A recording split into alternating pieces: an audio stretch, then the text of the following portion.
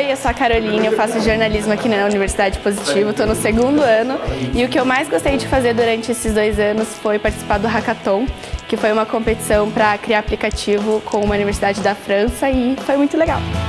Oi, gente, eu sou Brian, aluno do terceiro ano de jornalismo aqui da UP e eu fui vencedor do Expo Consul, o maior prêmio de jornalismo do sul do Brasil. E agora eu vou disputar a final aqui na UP, no Expocon Nacional. Oi, meu nome é Ana Tereza, sou do segundo ano de jornalismo e uma das coisas que a universidade me proporcionou desde o primeiro ano foi a pesquisa de iniciação científica.